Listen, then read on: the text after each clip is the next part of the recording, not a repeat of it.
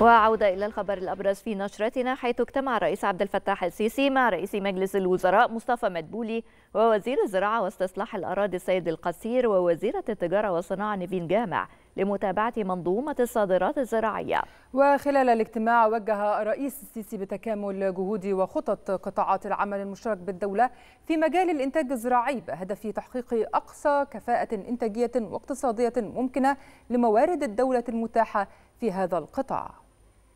اجتمع السيد الرئيس عبد الفتاح السيسي مع الدكتور مصطفى مدبولي رئيس مجلس الوزراء والسيد السيد القصير وزير الزراعة واستصلاح الأراضي والسيدة نيفين جامع وزيرة التجارة والصناعة.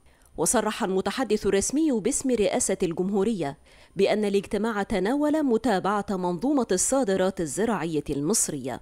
وقد وجه السيد الرئيس بتكامل جهود وخطط قطاعات العمل المشترك بالدولة في مجال الإنتاج الزراعي بهدف تحقيق أقصى كفاءة إنتاجية واقتصادية ممكنة لموارد الدولة المتاحة في هذا القطاع من أجل تعزيز الأمن الغذائي من المحاصيل الاستراتيجية ودعم القدرة التنافسية للمنتجات الزراعية المصرية محليا ودوليا وربط الإنتاج الزراعي بالصناعات ذات الصلة وتوفير المزيد من فرص العمل المباشرة وغير المباشرة في العديد من التخصصات.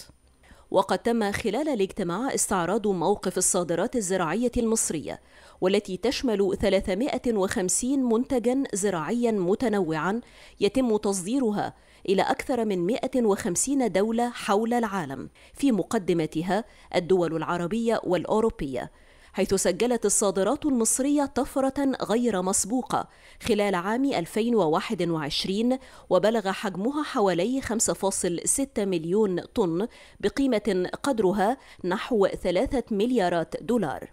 ولتصبح مصر الأولى عالميا في تصدير الموالح وذلك بالإضافة إلى الصادرات الأخرى من المنتجات الزراعية المصنعة والمعبأة. كما استعرض السيد وزير الزراعة مستجدات موسم حصاد القمح الحالي في ضوء الإجراءات التي كانت اتخذتها الدولة لتعزيز إنتاجية محصول القمح بزيادة المساحات المنزرعة بنحو 250 ألف فدان.